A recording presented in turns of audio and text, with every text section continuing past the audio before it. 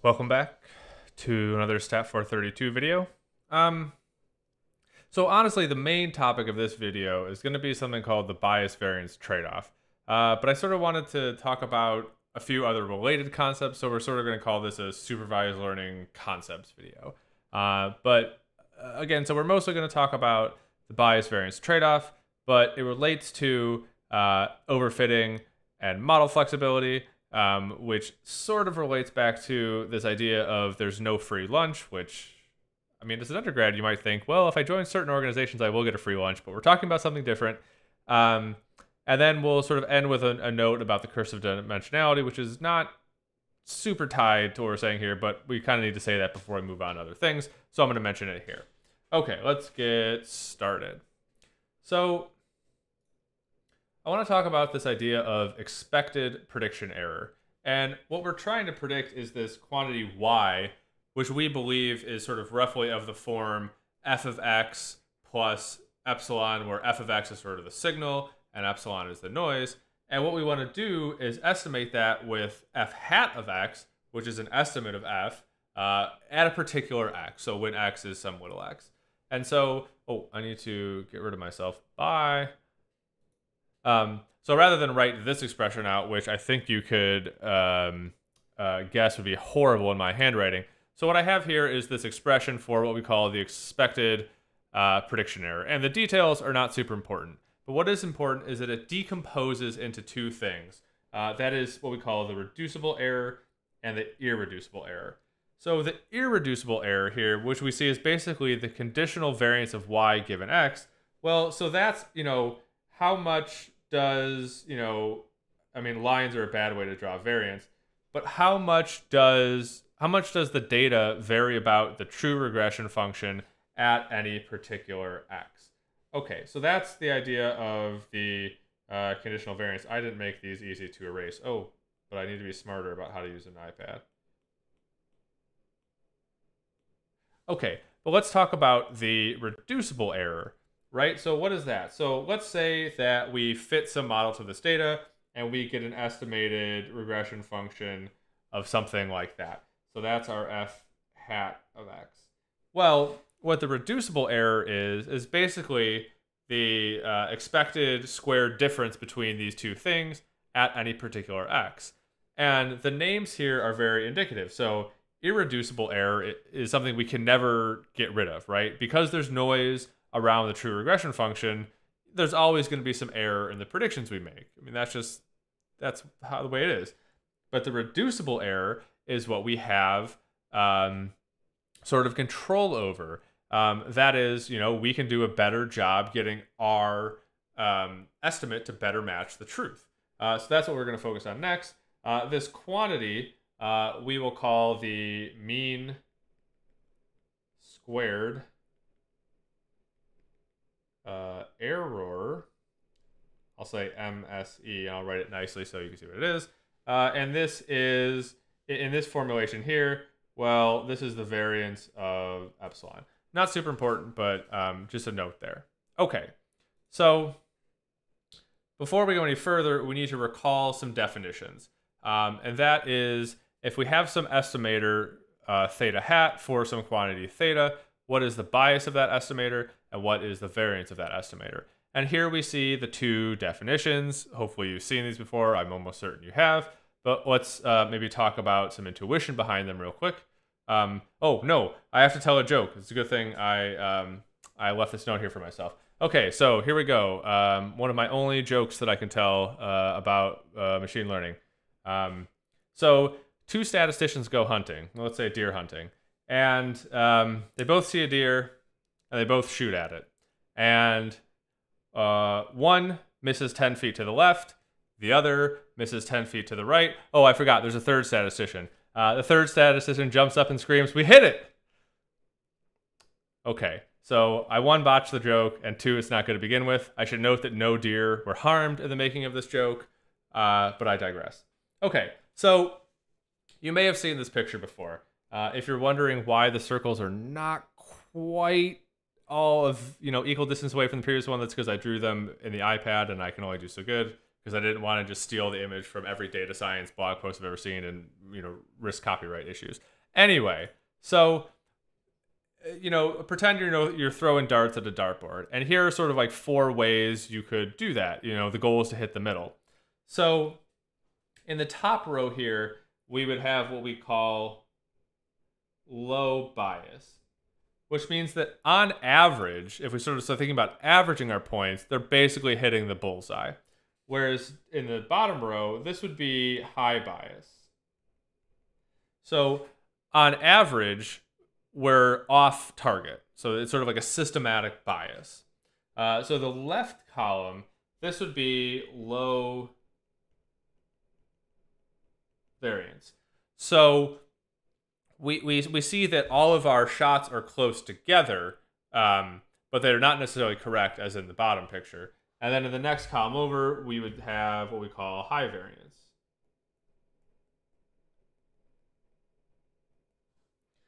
So, um, you know, I think it should be pretty clear here. The top left is what we're looking for. The bottom right is what we're absolutely hoping to avoid. But the bottom left and top right, well, which of these is preferable, right? So, um, you know, in statistics, we, we really, really, really uh, harp on we want unbiased estimators. But um, if we think about these, you know, in terms of average distance from the target, it's actually kind of unclear which of these is better. That is uh, this one or this one. Um, so we're going to need a different metric. Uh, before we get to that, I want to reinforce this idea of what the bias and the variance are. So, um, and, I'm going to sort of speak in general because most of the time we're going to be talking about an estimation at a particular x or pointwise, but uh, I'm going to speak a little bit more generally for a second. So here we have three data sets. They were all generated from the same data generating process, which is actually not plotted here anyway, because that's not, I don't care how accurate we are right now.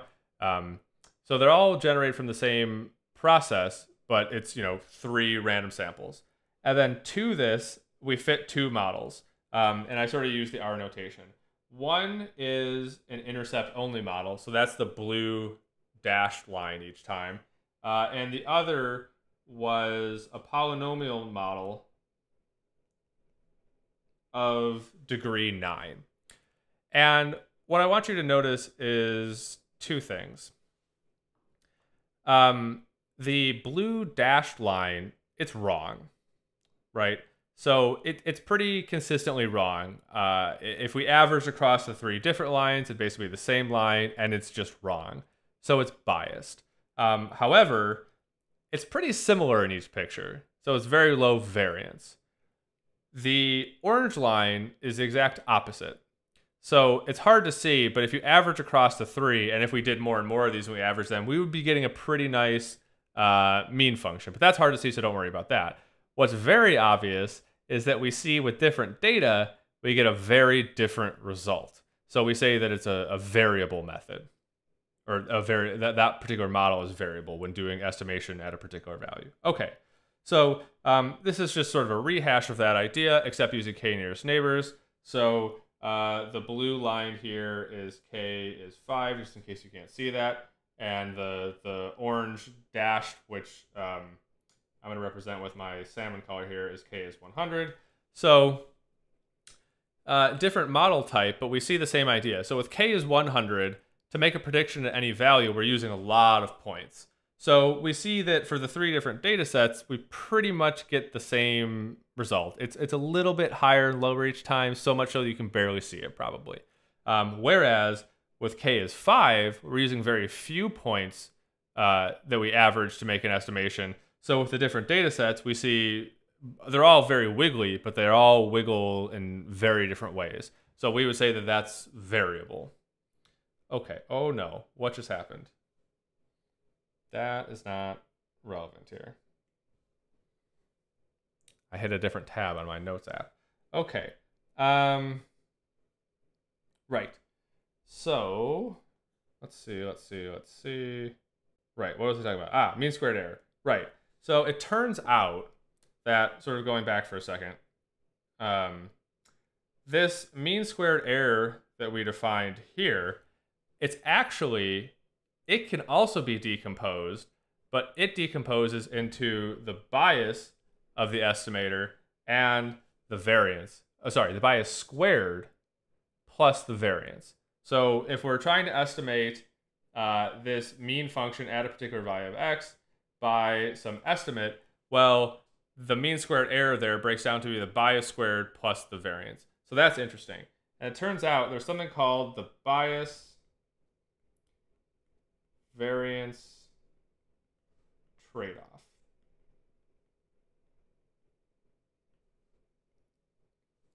So um, what the bias variance trade-off is, is that we can say as the bias increases, the variance decreases.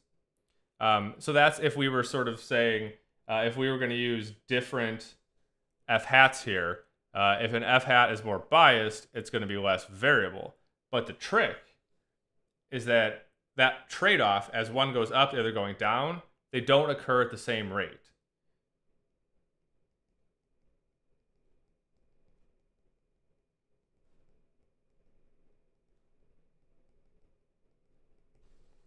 So that means we sort of need to manipulate this relationship to get a good model, which is what we're going to sort of uh, show in a second here. So um, I, I, I, don't remember if we sort of specifically define this idea of model flexibility. Um, and I don't even know if I'm going to define it that well here. But we, the, these models that are more wiggly, we call them more flexible. Um, but that's also, these are the models that are more variable.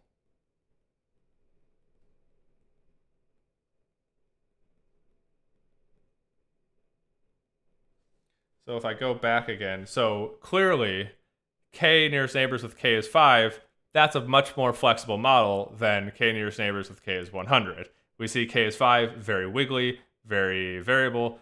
k is 100, uh, not a lot of variation there. Okay. So now I want to talk about the relationship between this model flexibility or model variability and the bias of a model. So as model flexibility increases, we see a decrease in the training error. I should technically see say we don't see it ever increase, but just for simplicity's sake, I'm going to say it decreases. But we don't see the same in um, validation error. So in the validation error, uh, I don't like that particular curve. Let's do it more like that.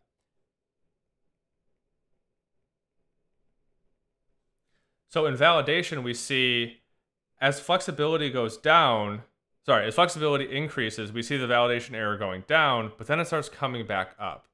So um, th this is a pattern you'll sort of see. Um, you often won't see it as such a nice curve and such a nice line decreasing, but um, this is something we're going to look out for. Okay, so now we can finally talk about this notion of overfitting. And essentially, overfitting occurs when a model is too flexible. And what we'll see is that the training error is optimistic. Optimistic. Um, and another way of thinking about this is that we have fit to noise. So I have three representative graphics here. On the far right hand side, this is uh, some data where I fit k nearest neighbors is one. Uh, the black dashed curve is the true regression function. And we can see this is far too wiggly. We fit to the noise. This is very clearly overfitting. Whereas on the left-hand side, I use a large k, that is k is 25, and we see a little bit of wiggle, but not much, especially relative to the true mean function. This is underfitting. Um, and then we sort of have some Goldilocks in the three bears scenario in the middle here. Um, it's not overfitting, it's not underfitting, it's just right. Um, it's not just right, there's some error, but you know, it's doing much better. Okay. So returning to this picture now with uh, perhaps better lines and curves, what I want to say is that, so if we were, you know, uh, fitting a model like say k nearest neighbors, trying a bunch of different k's, sort of, or tuning it, we would say, you know, maybe this amount of flexibility, so whatever k amounts to that flexibility is the model we would. And so over here, we're more likely to be overfitting.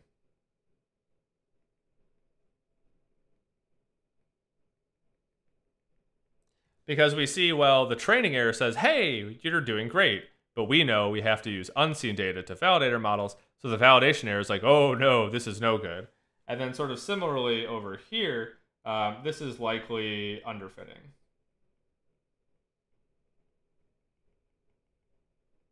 That is, if we increase the flexibility a little bit, we'd likely get a better validation error, and that would be a better model in general.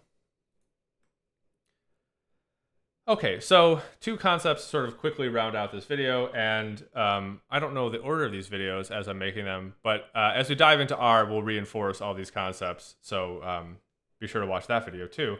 But so I just want to say that um, all these ideas of the bias variance trade-off and this model flexibility thing and this nice picture here, um, it sort of gives us some intuition behind um, why um, we have this validation curve here but it doesn't tell us what we should do ahead of time before we fit some models to data. So there's there's this idea that there's no method that will perform best on all possible data sets. I'm massively oversimplifying this, but that's the idea. And this idea is generally referred to as no free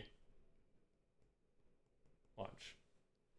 So uh, even though we're explaining sort of how model flexibility relates to validation error and all these things and explaining it, it, it will never explain it in a way where at the end of the day, we're going to have to fit some models to the data, validate it, and see what works best.